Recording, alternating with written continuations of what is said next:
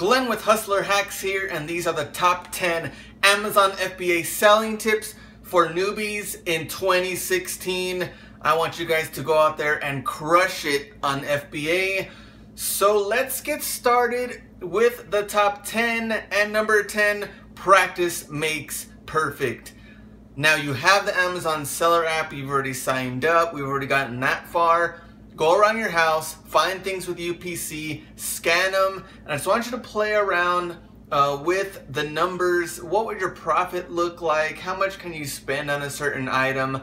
Just play around with the app because practice makes perfect. So when you're out there at stores or thrift stores, you find an item, you already know what to do and what your profit margins look like. Number nine, I want you to compile a list of stores. They could be retail stores, thrift stores, pawn shops, even swap meets, anywhere where you can source and find stuff to make money. I want you to write them all down. You can even map them all out. So when you're out there driving, you can hit a certain part of town. You're not wasting gas and just be efficient when you're out there sourcing.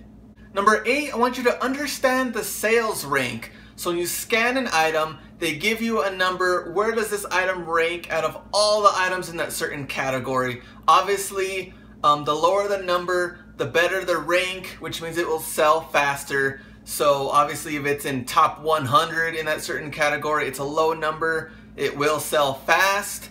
But I want you to pay attention to sales rank because some people think that they could just pick up any item and as long as it has some kind of rank that it's gonna sell, things are gonna take longer than others. So I want you to be aware of that and understand the sales rank. Number seven, be patient and start off slow. Maybe you want to sell new items first, just a couple of new items, maybe low risk items from thrift stores.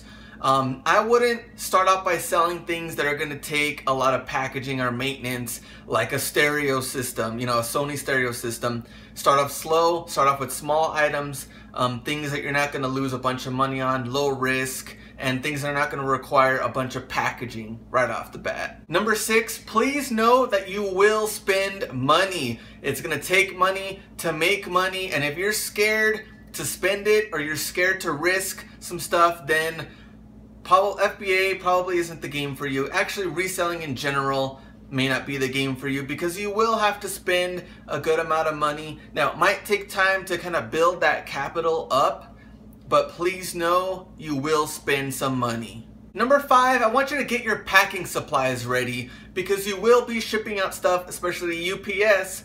And if you don't have any boxes, you don't have any tape, you don't have a scale, then it's gonna be very, very difficult. So these are things that you will need right off the bat. Boxes, you can get those at Walmart. Um, they're very cheap, or you can go out there and source boxes. Um, some people do the dumpster uh, diving thing. Some people go to stores and see if they can get some boxes. Whatever you can do, you will need boxes. You will need some packaging tape. Um, I would recommend a heavy duty scale, some poly bags with the warning labels. You can get those on eBay as well. Just make sure you're well equipped with all the shipping supplies you need to make that first shipment. Number four, please educate yourself on Amazon seller fees. Now they do have the um, subscription that's like $39.99 a month. Maybe that's going a little bit too hard for you if you're a beginner and you just want to get things um, started, get the ball rolling. So you could do the 99 cents per item, but you're still going to have a referral fee, variable fee, shipping fee, and there's different fees that come with Amazon FBA, but that's all part of the game. And if you know how to manage fees and you're well educated on fees, you're gonna make a ton of money. All right, here's the top three. Number three, please make sure that you are actually making money. Make sure that, uh, you know, the profit is actually coming in. Um, I've seen it a lot where some people, they go hard on FBA and then they're selling a bunch of items. Hey, check out uh, how, many, how many uh, items I sold this month. Check out how much money I sold this month. Okay, you sold that, but how much was actual profit? That's what's really to matter in this game. Um, if you're just selling stuff and your profit is very minimal or you're not even making money at all because you didn't think about the fees, you didn't think about how much money you were spending on shipping or sales tax, or maybe you got some uh, tax exclusions or stuff like that. You know, there's different ways to play it, but if you're not making any money, then why are we even doing this? Number two, please know your payment dates. And you're to need to know this because if you're expecting money to come in at a certain time of the month, uh, of your checks or whatever's coming in there uh, from Amazon, and it's not there, or maybe you forgot to update your information, maybe you expected it to come the first of the month and the 15th of the month, you know, the, the two checks per month, and it really it's different dates. It could throw your capital off, it could throw the money off, money that you're expecting, maybe money that you wanted to uh, use to pay bills. It could really throw things off if you don't know when Amazon is going to pay you. So please be aware of that. And the number one tip for newbies, if you're starting off selling right now, then this is the perfect time to get ready, to get prepared, to go hard in fourth quarter.